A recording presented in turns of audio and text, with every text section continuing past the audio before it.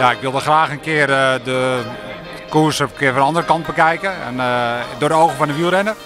En dat eh, heb ik dus vandaag ook meebeleefd.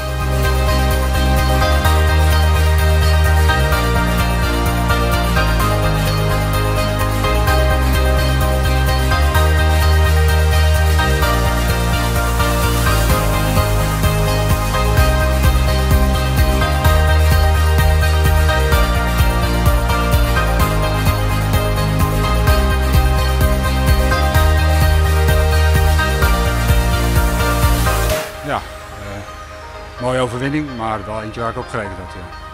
Als we verder vooruit kijken dit jaar, eh, wat zijn nog je doelen? Nou, het WK staat natuurlijk eh, bovenaan mijn lijstje.